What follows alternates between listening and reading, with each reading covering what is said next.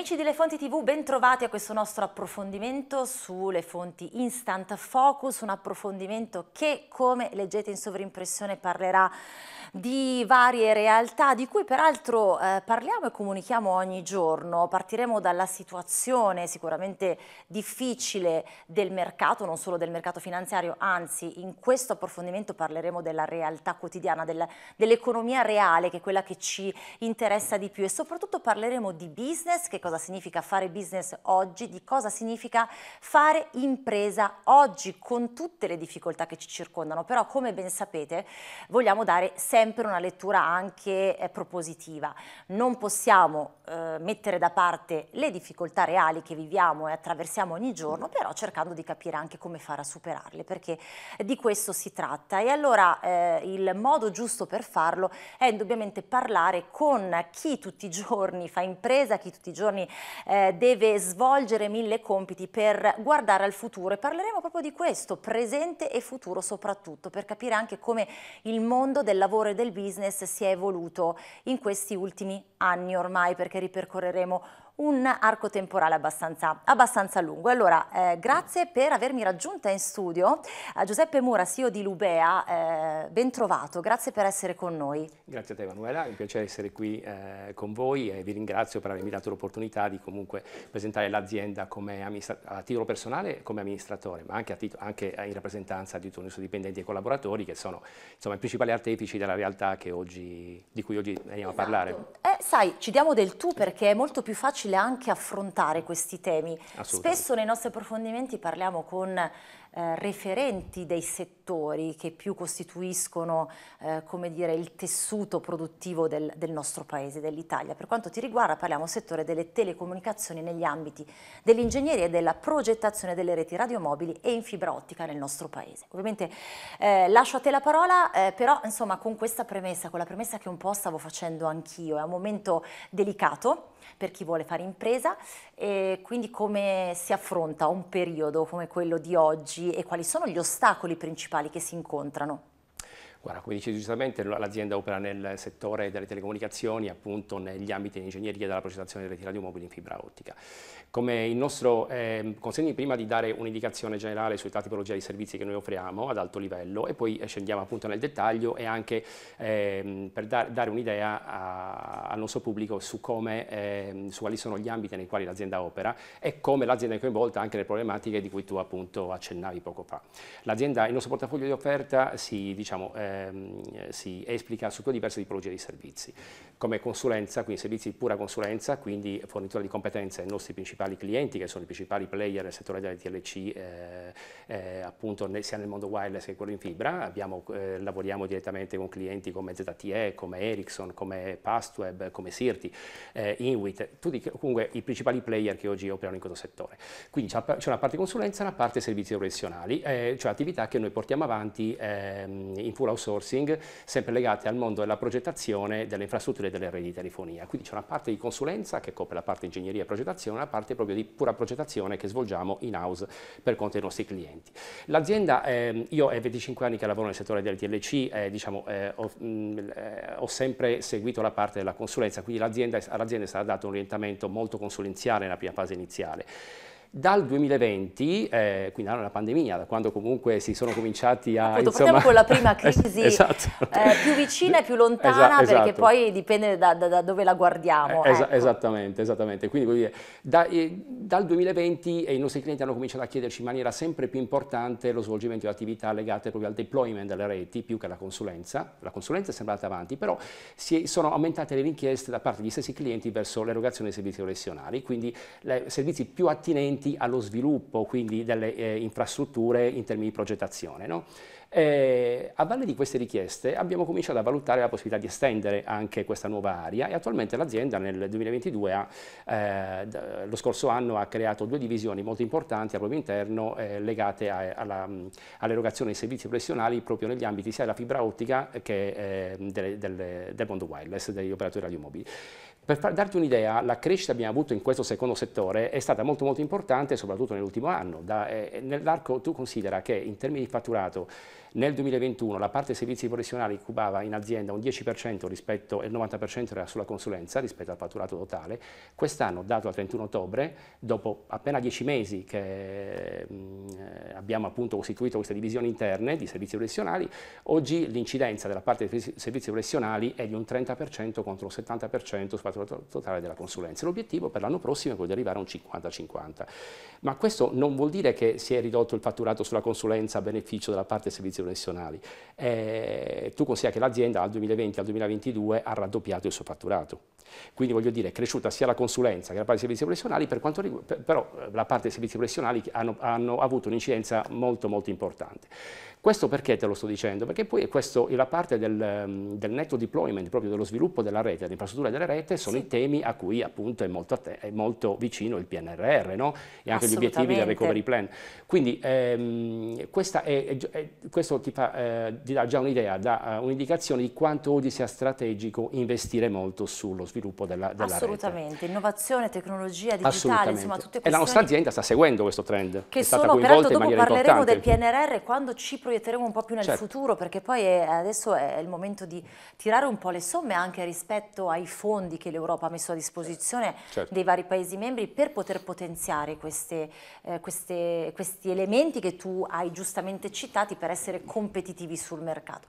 Eh, ti faccio solo ancora una domanda rispetto a questo, poi eh, cerchiamo anche di capire quali altre caratteristiche oggi occorre necessariamente avere per essere certo. attrattivi e competitivi sul mercato? Perché poi insomma lo sappiamo, se le imprese, le imprese si dice sempre questa frase che è vero, eh, si usa eh, anche spesso a sproposito, ma è così, cioè le piccole e medie imprese sono l'ossatura del nostro paese, il tessuto economico guadagna enormemente se poi le imprese seguono anche una strada che sia anche eticamente sostenibile e poi arriviamo, questa certo. è l'altra parola chiave, certo. però appunto come conciliare il momento di difficoltà con la volontà giustamente di andare nella nuova direzione, cioè quello di essere sempre più innovativi?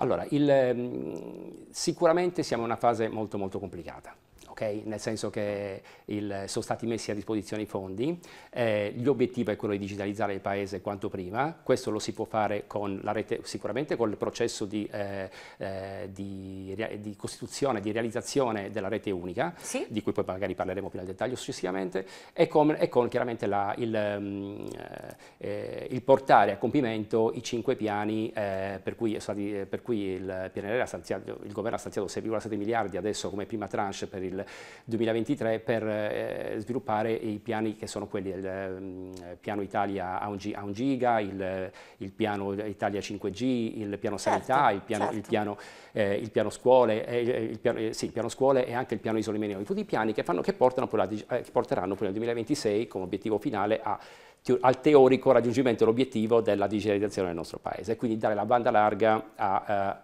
a tutto il territorio, eh, connettendo tutti i civici, ma anche tutta, tutta la parte, tutto il tessuto industriale del nostro paese. Il, eh, oggi essere competitivi cosa vuol dire? Vuol dire sicuramente eh infatti, fornire... per un imprenditore eh, fornire, come, come cioè, te cosa ess significa? Allora, essere leader anche, insomma, cioè dobbiamo essere leader anche come paese, cosa significa?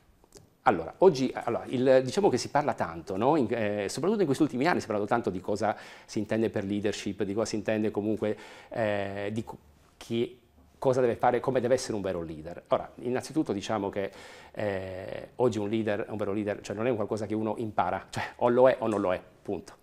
Sono delle cose... Cioè, sono, per quello è così difficile trovarli. Allora, ci sono che, delle cose che si perfezionano, esatto, ma si bisogna avere. Esatto, o hai okay. comunque quelle, diciamo, quelli, quei soft skills, quelle capacità di trasmettere, di comunicare, trasmettere con empatia, entusiasmo, eh, far, fare in modo che i tuoi collaboratori facciano propri i, i, tuoi obiettivi, se riesci a, essere, a, a, fare questo, allora hai già raggiunto un primo, un primo gradino del, dell'arrivare, dell'arrivare, a essere un vero leader. Un vero leader ma deve essere una persona che deve essere messa in grado anche di poter prendere decisioni in totale autonomia, deve essere una persona che deve, che deve essere in grado di dare un esempio verso, verso i propri collaboratori. Sono tanti elementi che poi è, non è così semplice eh, eh, concentrare in un'unica persona. Quindi per questo oggi noi abbiamo una forte carenza, anche nel nostro paese, di persone che hanno queste capacità, o comunque persone che le hanno ma che non vengono messe nelle posizioni strategiche per poterle poi esercitare, perché spesso chi oggi ricopre un certo tipo di posizioni oggi viene parliamo, diciamocelo chiaramente, eh, su, specialmente su aziende molto molto importanti e strategiche, strategiche del nostro paese,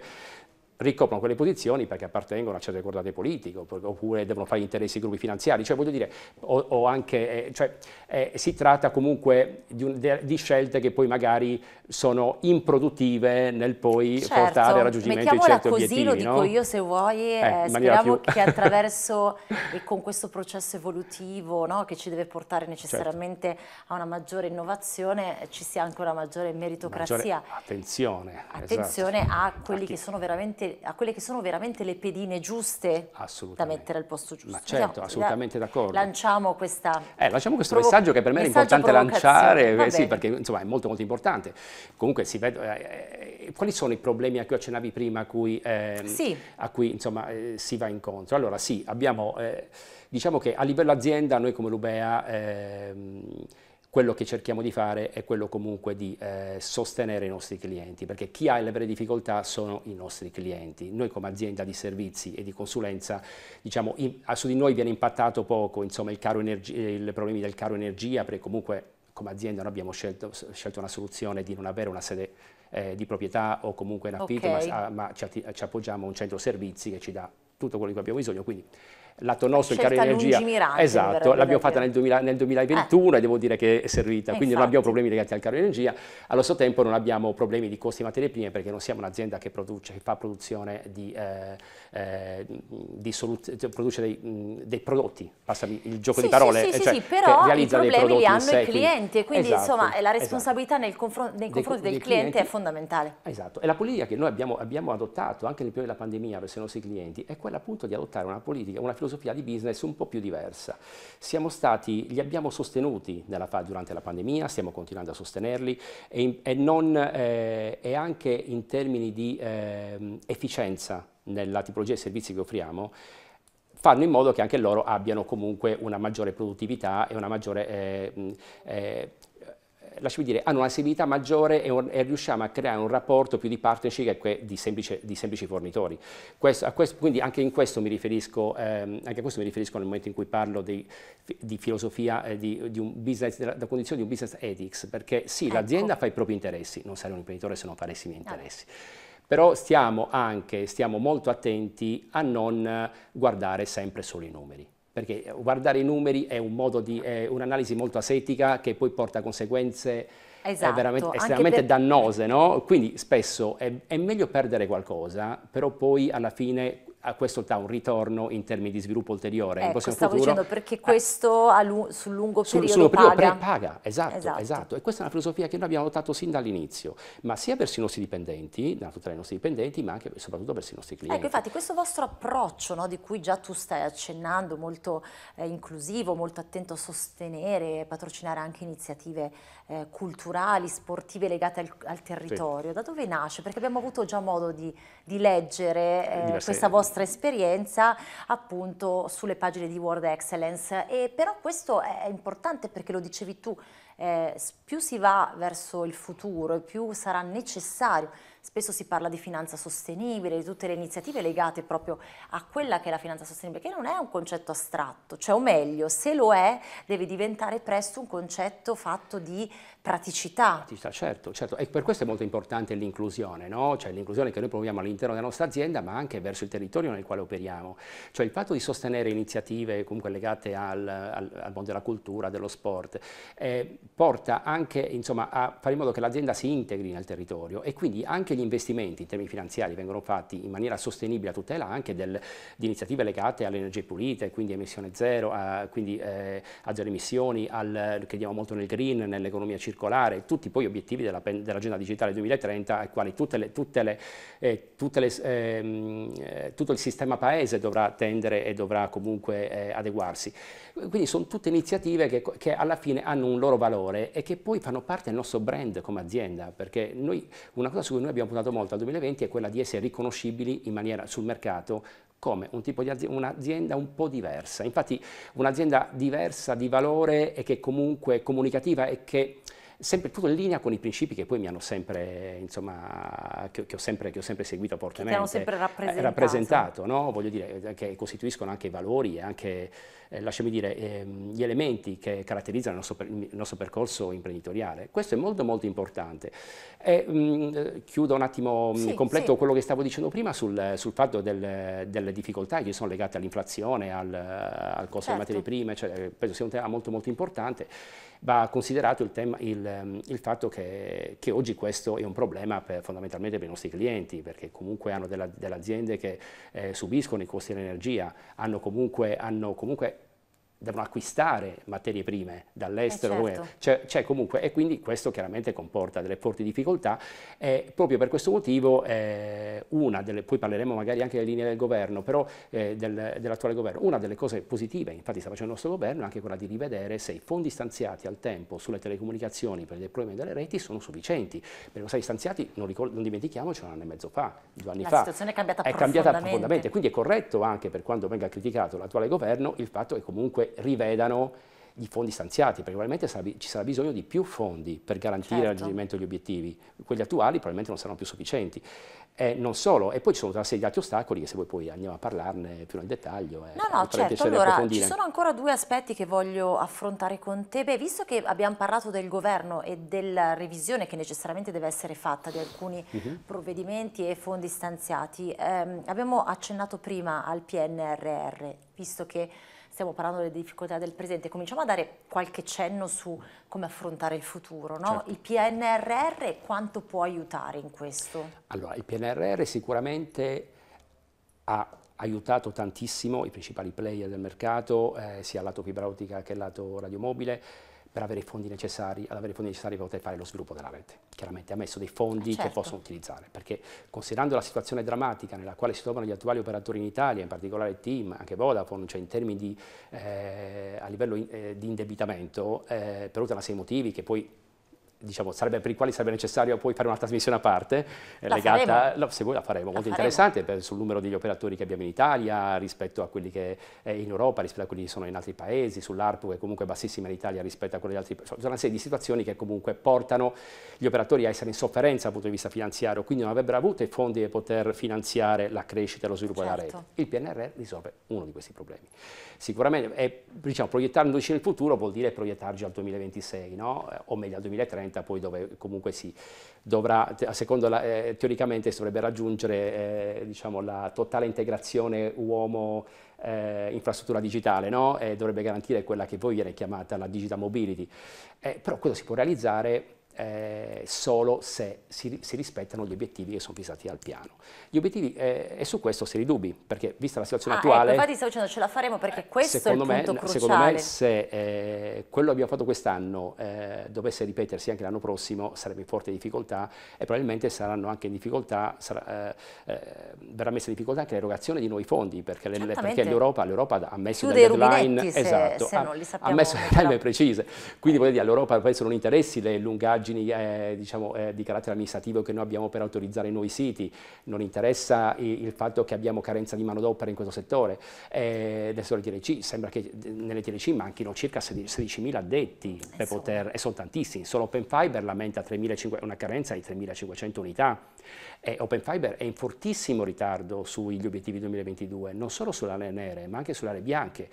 Il, e infatti probabilmente insomma, CDP penso farà degli interventi importanti in questo senso perché voglio dire eh, penso che stia attendendo adesso la fusione diciamo, di team con um, Open Fiber per poi prendere decisioni al vertice perché insomma, attualmente non solo Open Fiber ma anche altri, eh, altri, operatori del settore sono tutti in forte ritardo, non, non necessariamente a causa di, eh, della gestione ma, legati, ma, ma anche dovuti a dei problemi contingenti per che sono nel nostro paese contesto nel quale operiamo. Infatti operiamo. quello che ti stavo per chiedere, ma mi hai anticipato tu, è chiaro che eh, in questo momento chi eh, si è portato avanti in tempi non sospetti probabilmente riesce certo. maggiormente a far fronte alle difficoltà perché Se invece si comincia ora a dover mettere in campo tutte queste iniziative che, che danno questa spinta innovativa certo. di cui certo. stiamo parlando, beh eh, sicuramente però bisogna anche un attimino eh, fare i conti con la realtà e far quadrare questi conti, insomma non è facilissimo. Certo. Ma tu pensa, inserire 16.000 persone addetti nel campo delle TLC in così poco tempo? È veramente critico. No, poi Una anche delle... eh, capire se sono formate adeguatamente. Ecco, ma guarda, anche lì, anche lì eh. Eh, allora, si, ci possono essere delle problematiche, allora se il tutto non viene affrontato in maniera strutturata ci possono essere eh, le classiche problematiche di skill shortage, cioè che si mettono in campo persone poco formate e quindi creano più danni che altro. No? Certo. Però considera che buona parte di questi addetti, eh, non, eh, le professionalità richieste per buona parte degli addetti mancanti al settore delle TLC sono eh, risorse che, dove, diciamo, non, non, per le quali non si, prevede, non si prevede abbiano un'elevata scolarizzazione.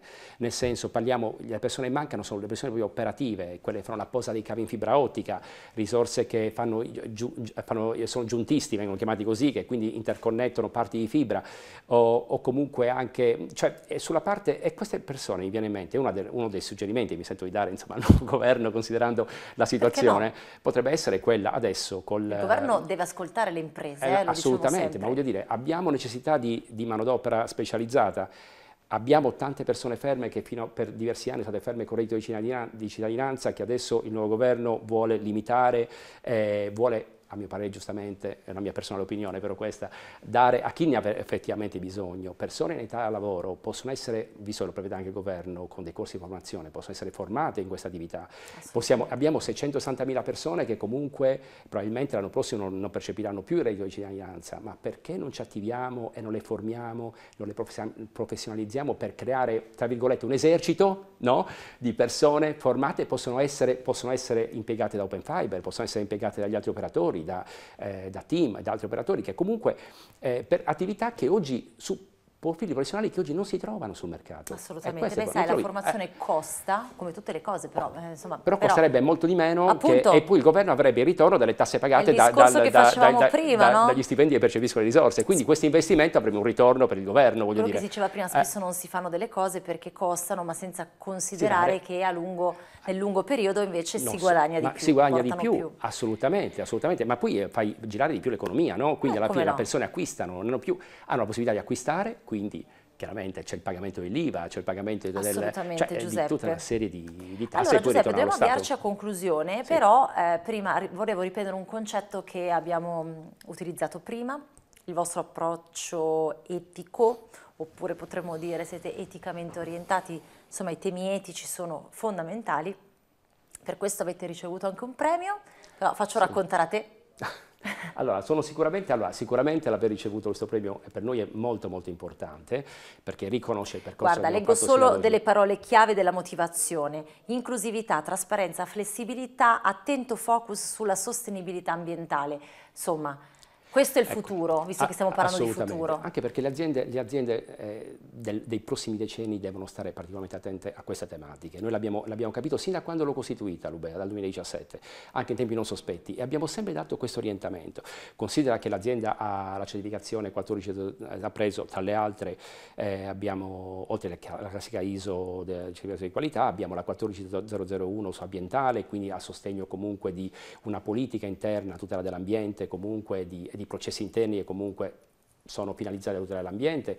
Eh, entro quest'anno, eh, spero di non slittare a gennaio dell'anno prossimo, però se facciamo possibile per chiuderla quest'anno, eh, prenderemo la certificazione, la SA 8000, che comunque è una, è una certificazione sulla responsabilità eh, eh, di impresa, la, la, la responsabilità appunto eh, eh di, della, sulla eh, sostenibilità di impresa ed è comunque un riconoscimento che ci viene, lasciato, che, che viene rilasciato da un ente internazionale e che è particolarmente attento alla verifica che all'interno le aziende che hanno questa certificazione abbiano dei processi interni che tutelano eh, la, la, discriminazione di, gender, di, di genere, sì. che tutelano, tutelano il fatto che non vengano applicate delle de, applicate, cioè, costi di lavoro minorile per esempio, il, il fatto tutela, tutela, de, tutela eh, dei dipendenti, parliamo di etica, wellness, quindi figuriamoci. Wellness, eh, anche all'interno del, dell'azienda, qualcosa noi, eh, su cui noi puntiamo molto. Quindi una serie di fattori che sono di interesse e che ci danno un posizionamento ben preciso all'interno dell'ecosistema imprenditoriale delle piccole e medie imprese del nostro paese.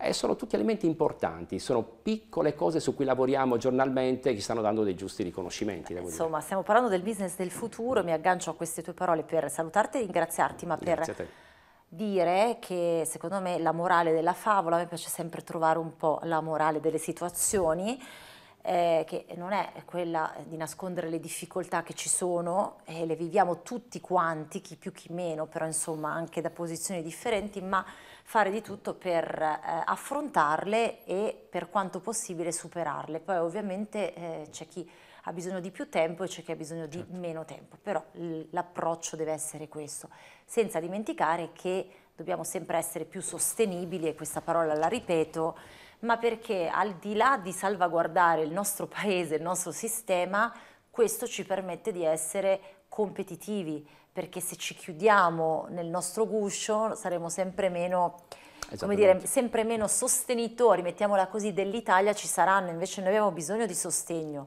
Ce lo diamo da soli perché fortunatamente siamo in grado di farlo, però abbiamo anche bisogno, perché siamo in un mondo ormai che è estremamente interconnesso e sarà sempre certo, più interconnesso. Certo. Ecco, terminiamo con questa parola. Grazie mille a Giuseppe Mura, CEO di Lubea, per essere stato con noi, per averci raccontato eh, una realtà che sicuramente può essere insomma un po' eh, da, da, da spunto, può fare da spunto sì, anche a tutti quelli che ci hanno seguito. Grazie a te Emanuela, è stato un piacere essere con voi oggi. Grazie, grazie, grazie. a presto. Dobbiamo continuare Sì, ci sono un po, di, un po, di, cose che non abbiamo affrontato e che dovremmo affrontare in una Io prossima occasione. Io li ho segnati tutti, guardate un po' eh, perché Sono un po' di cose canta. anche sul, sai, su, sulle problematiche. Adesso te li faccio dovremo... sottoscrivere così almeno ci rivediamo presto. Quando vuoi, con grande piacere. Va bene, grazie ancora, grazie, grazie, naturalmente a tutti voi per averci seguiti. Questo è il nostro Le Fonti Instant Focus e vi aspettiamo presto, anzi rimanete sulle Fonti TV.